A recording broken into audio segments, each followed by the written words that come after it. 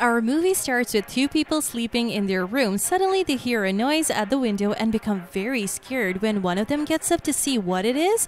A strange creature pulls him away.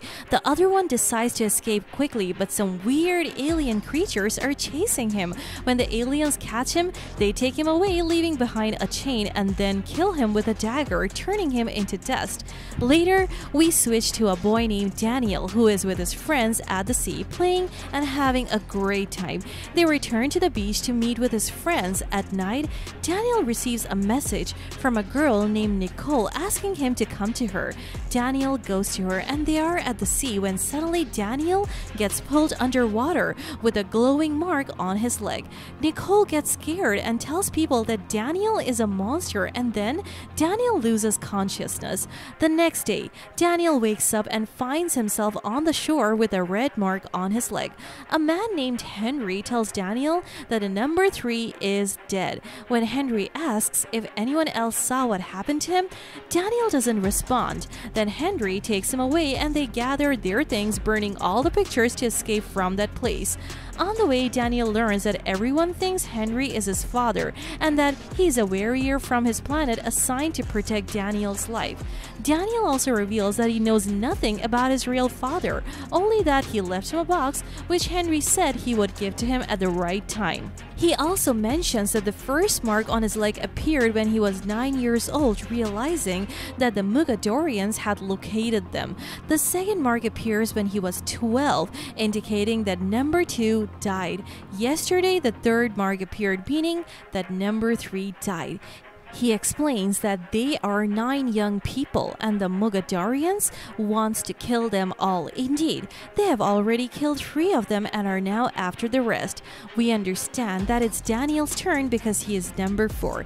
Henry and Daniel arrive at a new house where Henry gives him his new identity and his new name is John. Henry tells him to completely disappear and not to recognize anyone in this place.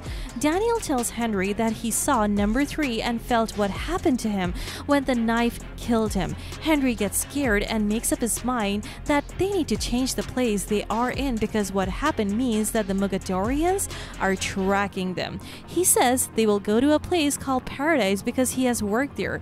When they reach their house there, the weather was very bad. Afterwards, Daniel goes out to get the bags from the car and one of the Mogadorians disguised as a lizard is following them. Then Daniel and Henry hear a noise outside the house. Henry takes the dagger and goes to see what it is. Finding a small dog, Daniel decides to take it and raise it because he currently has no friends or anyone to talk to. Henry is worried about the dog, but he reluctantly agrees for Daniel's sake. Later, they go to number 6 who is also gathering her things and setting the house on fire before leaving. The next morning, we see Daniel getting ready for school and the dogs follows him and watches over him. Then Daniel enters the house and he applies for admission and waits for a while in the office. At that time, he sees a girl named Sarah in the principal's office trying to get back her camera, which was taken because she took pictures of the teacher and posted them online without permission. The principal returns her camera and asks her not to post anything online without the owner's permission. After Sarah leaves the principal's office, the clerk takes Daniel to show him his locker so he can put his stuff in it. Sarah takes him to the locker and then she leaves. At that moment, a group of bullies arrive and they recognize Daniel and start teasing him before leaving. Then another boy named Sam arrives and the group of bullies starts bullying him. Daniel notices what's happening but doesn't speak up to avoid trouble. Daniel goes to his class and sits alone during break, not wanting to talk to anyone. He notices Sarah is also sitting alone. At that moment, he sees one of the bullies named Mark hitting Sam with a ball, causing Sam to fall to the ground. Daniel goes to help him and picks up his stuff with him. Afterwards, Daniel hits the ball again towards the group and one of Mark's friends falls to the ground. Sarah notices everything happening, so she takes out her camera, snaps some pictures, and uploads them to her website. However, the pictures get deleted quickly. At that moment, Henry enters Daniel's room and tells him that he instructed him to stay hidden to avoid being killed. The next day, the Mogadorians reach the beach, where Daniel was, realizing he is still alive.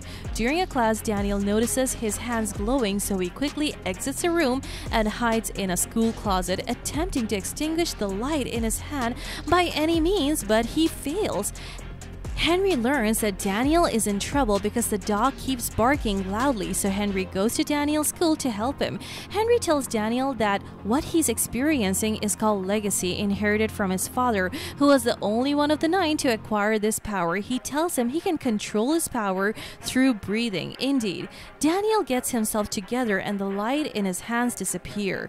Afterwards, Daniel and Henry return home, where Henry tells him that his powers will increase, so he must learn to to control them. He also tells him he shouldn't go anywhere until he learns to control his powers, as it will attract attention. Daniel goes to his room and tests his power. Then he jumps out of the window to try his power in a wider area, throwing a brick into the sky, which pierces the atmosphere. Daniel realizes his power lies in running and jumping. At that moment, the dog is still behind him, observing him without taking notice. We then see one of the Mogadorians buying frozen turkeys and feeding them to the predators in his car. At night, Daniel walks in the street and coincidentally meets Sarah. They walk together and Daniel notices from her talking that photography is her life. On the way, they encounter Sam's stepfather who treats him very harshly. Afterwards, Daniel arrives at Sarah's house and goes in with her having dinner with her family.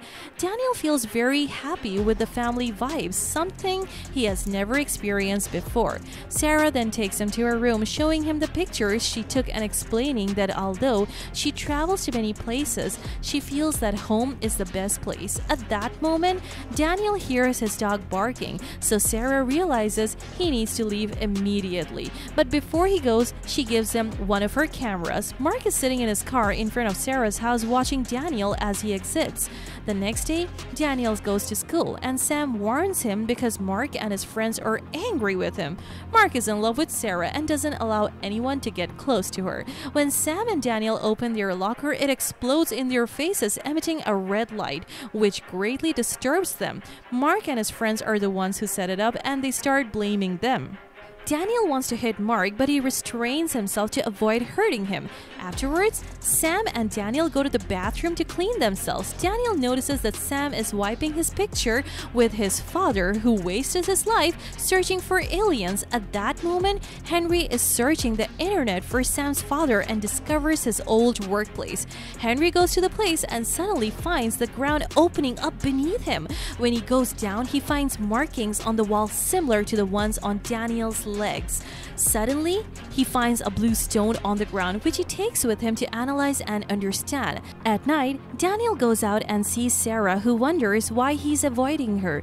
He tells her that Mark warned her not to get close to him. Sarah reveals to him that she and Mark used to be together but broke up and ever since she has a terrible reputation at school and everyone believes him. Afterwards, they go to the house of horrors where Mark and his friends attack them, trying to kidnap Sarah. Daniel fights them using his powers, but Mark manages to snatch Sarah. At that moment, Daniel sees one of Mark's friends and beats him to find out where Sarah is. Sam witnesses everything and is amazed by Daniel's strong power, confirming that he's not normal. Then Daniel goes to save Sarah, fights Mark, and takes Sarah to her house where he confesses his love for her. On the way, he sends Sam a message telling him to meet him because he saw what happened at the House of Horrors and needs to talk. Later, Daniel meets Sam and starts telling him that he's he's not human. Sam explains that he spent his childhood searching for aliens with his father, who suddenly disappeared. He asks Daniel to let him know if he's one of them to confirm that his father wasn't crazy. Daniel tells him that his father was right about aliens and asks him not to tell anyone about this secret because they're looking for him. The next day, Mark's father, the police officer, goes to Daniel and Henry's house and asks Daniel if he knows what happened at the House of Horrors because his son got hurt there. Daniel tells him that he was with Sarah and wasn't paying attention to anything else. Henry assures the officer that if they find out anything new, they will inform him. As the officer leaves, Henry tells Daniel they need to move quickly because of what happened yesterday. He shows Daniel a video of what happened to him in the sea when he died. But Daniel tells Henry that he won't run away from his fate, and when Henry insists, Daniel uses his power to strike Henry. This leads to a fierce battle between the two of them, a battle in which Henry ultimately wins. He tells Daniel that he won't sacrifice his life and the important cause they are in for the sake of a girl. Daniel confesses that he loves her deeply and can't leave her. At that moment, number 6 watches Daniel's video from the sea and smiles because she knows he's still alive. Daniel wakes up and doesn't find Henry at home. When he calls him, a stranger answers and tells him to come to a certain address if he wants to see Henry again. Daniel then calls Sam to give him the address. At night, they reach the address and Sam wants to accompany Daniel inside but he refuses. They follow a man who closes the door and walks away. Daniel asks Sam to follow him and send him a message if he sees him coming back. Inside the house, Daniel finds Henry's dagger and then he meets Henry himself. He learns that the Mogadorians are coming and suddenly the stranger enters with Sam threatening to kill them. Henry uses his power to strike him. They start fighting and a fight ends with with Henry's superiority. The man tells them that the Mogadorians are looking for Daniel and Henry before leaving. Before they leave the house, another Mogadorian attacks them, and Henry sacrifices himself by fighting him until he kills him. However, he wakes up again and joins Daniel, Sam, and Henry trying to defend Daniel. They all move in the car and run from the creature. On the way, Henry dies from a serious stab wound inflicted by the creature. He gives Daniel the blue stone, telling him it will lead him to the remaining five and they must unite to face the Mogadorians. Afterwards, the police officer goes to Sarah and notices that Daniel is not normal. We learn that Daniel and Henry are accused of terrorism. Daniel goes to a party where he meets Sarah and tells her he came to say goodbye. Suddenly, the police arrive and Daniel tries to escape with Sarah. At that moment, Mark and his father, the police officer, are in the car looking for Daniel, but halfway they meet the Mogadorians, who kill Mark's father and take Mark himself to show them Daniel's place. Meanwhile, Daniel and Sarah are at school developing Sarah's photos. After a while, the Mogadorians arrive at the school. Sam calls Daniel and informs him that the Mogadorians are at the gates. When Daniel takes Sarah to escape, the Mogadorians enter and behind them comes number 6, the girl who attacks them. They manage to escape from them. At that time, Sam was in his car with the dog. Suddenly, he sees the Mogadorians' car open and strange creatures comes out of it. The dog also transforms into a strange monster, but Sam manages to escape from it and enter Daniel's place. He tells him what he saw and gives him the other half of the blue stone. Suddenly, they are attacked by both the monsters and the Mogadorians, resulting in a long chase between them. We were shocked that Daniel's dog, which had turned into a monster, was defending Daniel, but then it returned to its normal state. Then, number 6 attacks Daniel and he fights off more than one of the Mogadorians. However, suddenly the monster takes number 6 and when Daniel tries to save her, one of the Mogadorians comes and lifts Daniel, but Daniel uses his power causing the entire place to explode.